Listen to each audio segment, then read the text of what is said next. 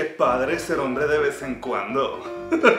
Hola, ¿cómo están? Yo soy Carlos Briano y el día de hoy les quiero explicar algo bien padre. ¿Cuántas veces no nos ha pasado que queremos grabar un video de noche y la luz se ve de la verga?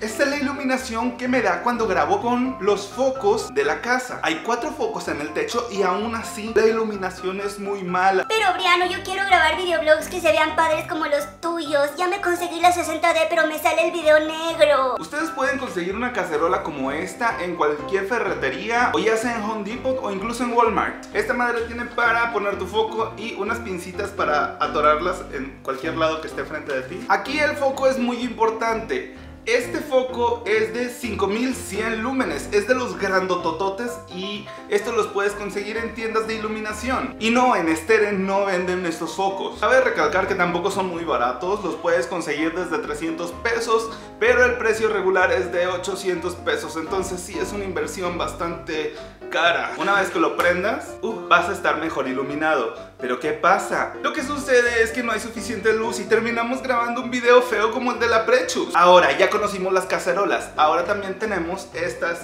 como fotolámparas. Esta es como la misma cacerola y tiene un tripié con el que se sostiene y esto es muy cómodo y muy padre porque lo puedes, lo puedes acomodar donde quieras. Justo enfrente de mí tengo dos de estas lámparas que voy a encender.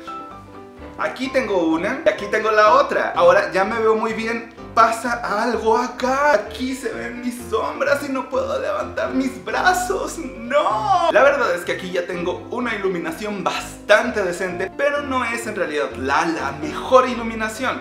¿Qué tenemos que hacer? Necesitamos matar esta sombra. Así se llama, matar la sombra. Es cuando la quitas. Entonces, esta tercera lámpara que tengo aquí con este foco, lo voy a poner en el fondo para que no se proyecte nada de sombras.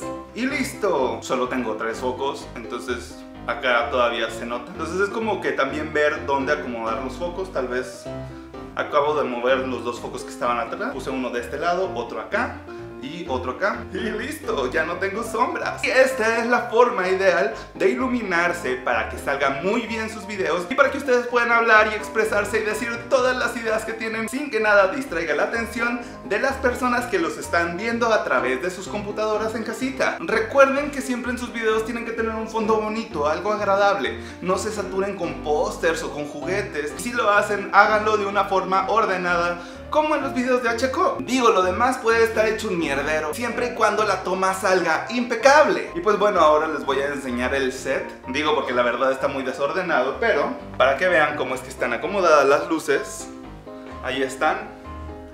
Tres lámparas, ahí está Checo editando. Y en efecto, este es un mugrero total. Solo hice la basura de lado, las pelucas y así. Y pues nada, mis bebés, ya saben que yo los quiero chingos. Denle like al video, suscríbanse. Si quieren conocer más técnicas para mejorar sus videoblogs, no olviden dejar sus dudas y sus comentarios aquí abajito. Yo soy Carlos Briano y recuerda que ahora tú y yo somos el movimiento.